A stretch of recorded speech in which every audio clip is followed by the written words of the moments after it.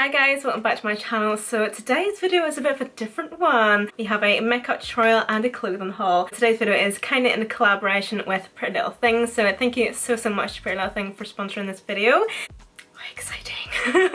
For this video I just thought I would do like a chit chat get ready with me for a date night or whatever it may be. So I just done my makeup like so and all of the products that I did use on my face you can get from Pretty Little Thing as well. There is a few products I think that I did mention and use, talk about, whatever that you can't get on Pretty Little Thing but I will make sure and list down in the description box whether you can get it on the website or not. And then later on in the video as you will see I have two outfits that I would personally wear on a date night. One that is casual and then one that is more dressed up but I did have both outfits so you could dress each one up or down or whatever and it's kind of just a wee mixture of styles and stuff so I hope you all enjoyed this video and again thank you so much to Pretty Little Thing for collaborating me on this video I really really appreciate it and thank you so much for gifting me these products and yeah I hope you all enjoy this video. Just going to start off by priming the skin. I'm going to use these unicorn primer drops from Barry M and these are the Beauty Elixir drops.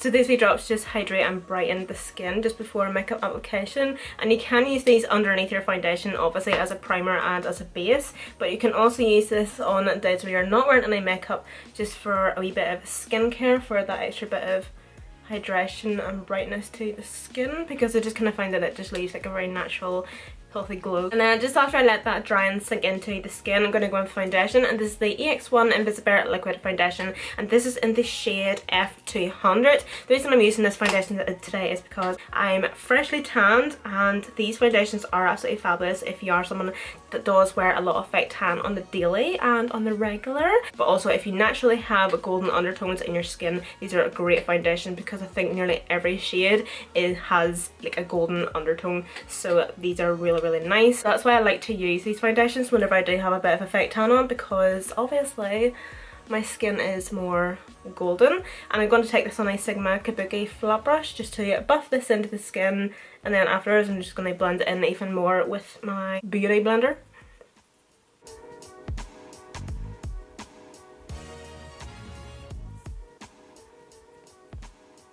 To conceal I'm just going to use the Age Rewind from Maybelline and this is in the shade Mine just says neutralizer. Is that the shade, do you think? So then with these next products, I actually doubt you can actually get these on Pretty Little Thing, but I'm just going to set my face with them anyway. So this is the MAC Prep and Prime Translucent Setting Powder. I'm just going to set my T-zone mainly, so my under eyes, and just around my mouth area because that's where I will crease the most throughout the day. And then I'll just also do whatever excess is on my brush just on my forehead because I just don't like to apply too much product, especially powder, to my forehead. My usual, this is the Revolution Pro Translucent Powder also, just like to take the tiniest bit of this because it is very brightening. And I just like to pop that just on the under eyes. Next I'm just going to highlight, I'm going to use the Doll Beauty highlighter in the shade Like a Diamond. So this this one here, I think this is the lighter shade of the two that I have.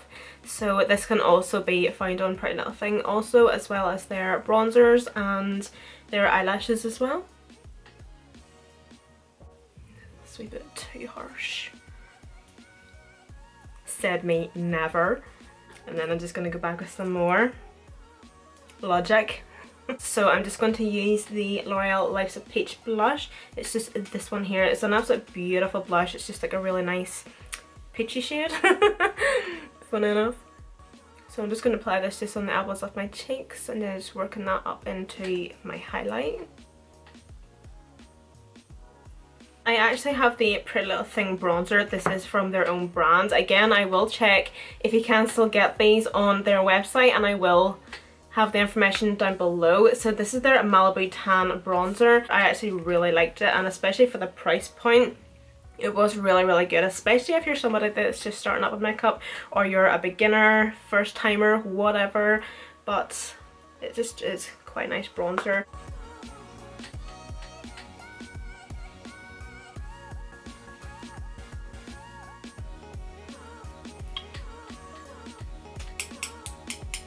So that's my eyebrows done and I didn't actually have any products that I have in my collection that you can get on Pretty Little Thing. So I'm now just going to start on the eyes. So I'm just going to use this wee Morphe palette. This is the 12NB palette. And you can also get a load of the Morphe eyeshadow palettes on Pretty Little Thing also. And then I'm just going to be using the Peaches and Cream pigment in the shade Gatsby. This is honestly such a beautiful, beautiful shade. Um, it's just like a wee loose eyeshadow. It's absolutely gorgeous. And you can also get the Peaches and Cream pigments on Pretty Little Thing also. And I'm going to take just this wee shade here. I'm just going to pop that just in my crease just to warm it up a wee bit and just act as my transition earring. Damn it. I'm just going to blend that quite high into the upper crease and brow bone because I think I'm going to be doing a spotlight eye today. So once I have the intensity laid down in the crease, I'm not going to take any more product on the brush, but I'm just going to buff that shadow just up into my upper crease and my brow bone. I'm going to take that stubbier end, I'm going to go into that exact same shade and I'm also just going to run that just along my lower lash line.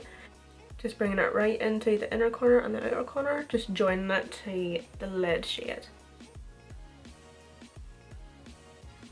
Gonna go into this Morphe palette again. I'm Gonna take the darkest shade and I'm just going to pop this in the inner and outer corner. So I'm just going to slightly build that shade up as you can see. I'm not wanting to go too crazy first off. I just want it to be quite soft. Then I'm also just going to, using that same brush, I'm just going to start by blending those two shades out. Just in that crease shape but I'm still wanting to leave the centre with not much on it, if that makes sense. Just to apply the pigment, I'm just going to use this Rude Cosmetics Glitter Primer. I'm just going to rub this in with a fluffy flat brush because I'm not wanting it to be too precise. I'm not that bothered. Just all over the centre. I'm just going to do both sides while I'm at it, may as well.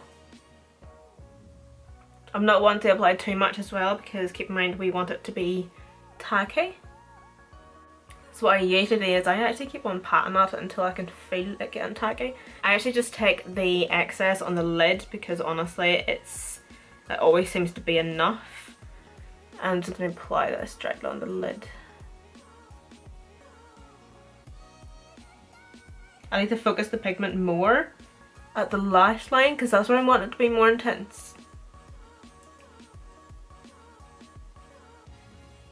And then I just slowly work my way up. You can do this with your finger as well, by the way, if you're not wanting it to be too precise or anything, but because I have nails, it kind of makes that just that wee bit harder. I'm not going to apply any more of the pigment, I'm just going to keep on blending at it. Back into the darkest shade, and taking that same brush, and just like we did before, I'm just going to start by packing that darkest shade just on the inner and outer corner. I'm going to blend the dark shade and the pigment together just so that it's a wee bit more seamless. So I did just go off camera there and do my lashes, liner and lashes. So I just used the Kat Von D tattoo liner and I used the Mega Protein Wet n Wild Mascara and then for lashes I used Clio Beauty in the style Sugar Daddy I think but it'll all be listed down below anyway in the description box. Next up for lips I'm going to be using Spice Lip Liner by MAC and I'm just going to outline my lips. For my lips I'm going to use the Morphe Liquid Lipstick in the shade Brunch. I'm just going to apply that just in the centre.